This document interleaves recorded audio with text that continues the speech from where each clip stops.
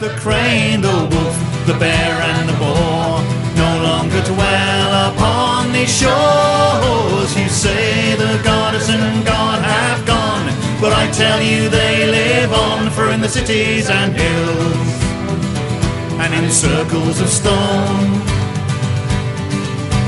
The voices of the old ways, the spirit of Albion is calling you home.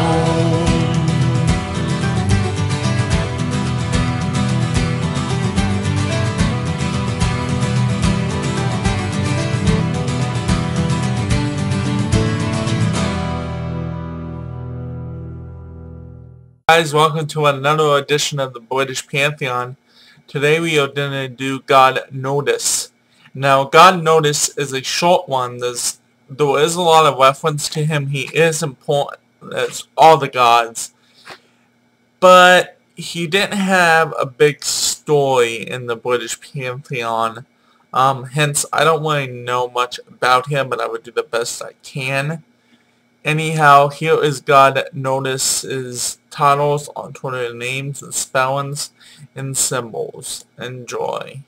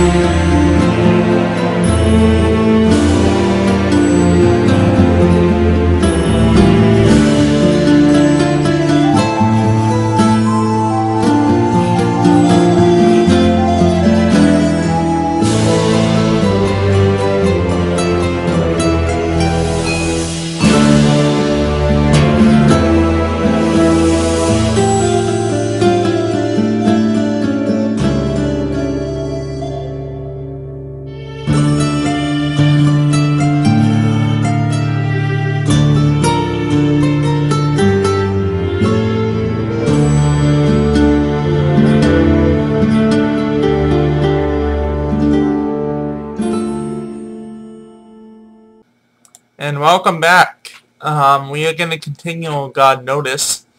Now, God Nodens, the story I read on him and did researches, that he was a big warrior god. He fought in a lot of wars. He's an elder god.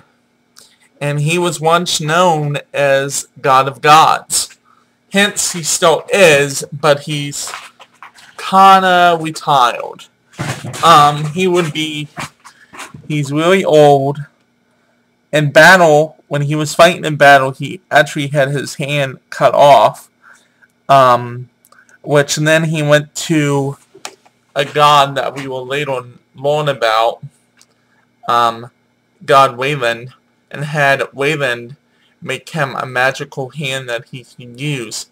Hence his name, the Silver-Handed. Um, so Let's see what he was god of. He was god of the sea, healing, dreaming, empowerment, hunting, dogs, sleep. God of do God of gods. His sacred animal was dog. His sacred cuddle was silver. His element was water. His Sabbath is Beltane.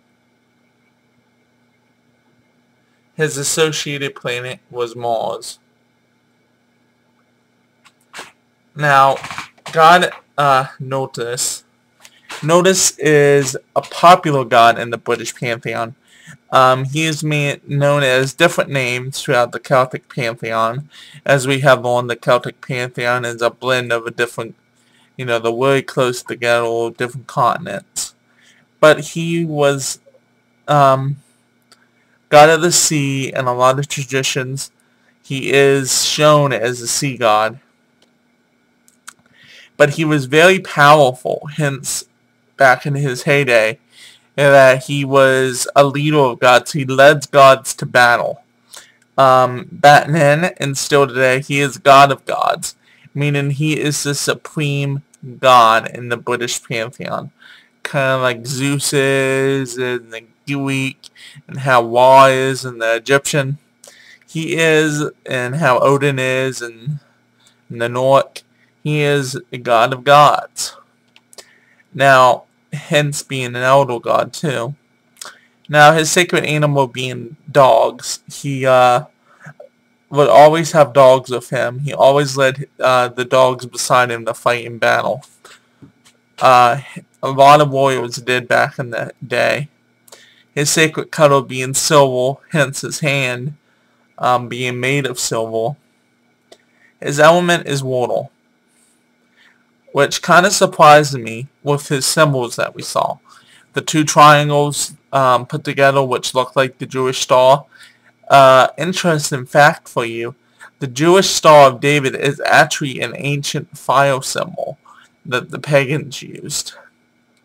Um, and his symbol of that pops up a lot, which it's an ancient fire symbol, but yet his element is water and his Sabbath being Beltane and the associated planet being Mars, those are fire Sabbaths. Beltane is a fire Sabbath, and Mars is known as a warrior planet, which makes sense.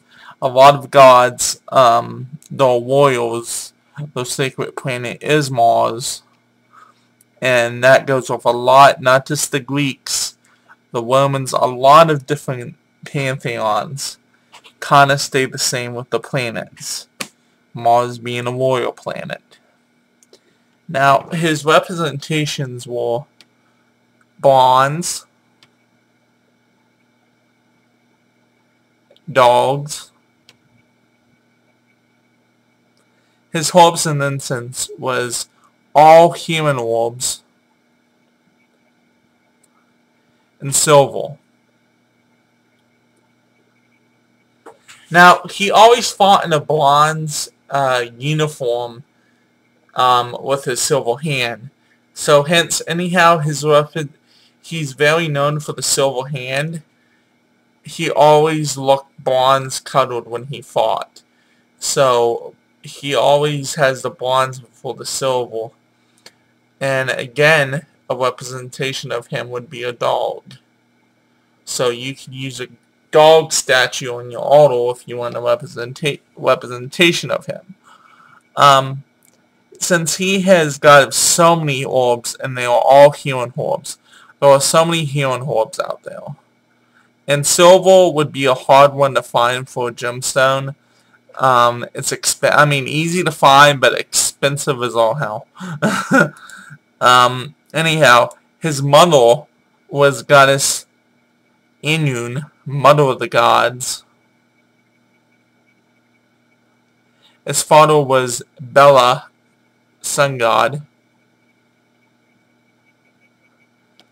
His lover or wife was Matra, which is goddess Morgan in her maiden form. He had no divine children. Now, the mother goddess is going to pop up a lot, Inun. She was also known as, mainly known as Diana, or Dinun.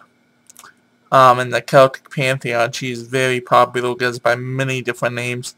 His father being Bela. Um, that would make him the great-grandfather of a lot of the gods. Um, but Bella again, actually goes into a different Celtic pantheon, and we covered him before in the other ones, so you can go back and find him. Um, Matra, which is the maiden form of goddess Morgan, the Fates, uh, she is a very warrior and uh, bloodthirsty uh, part of Morgan. So, again, that matches him. But it's very interesting that his level was Matra which Moshra is a very powerful goddess, one of the most powerfulest in the Celtic pantheon. Anyhow, this has been it for God Nodens. And next we will be doing the God of the Underworld in the British Pantheon. Stay, stay tuned for that. That's going to be an interesting one. Lots of information on him. Anyhow, this has been Rainbow Pagan, and I hope you have a blessed day. Bye.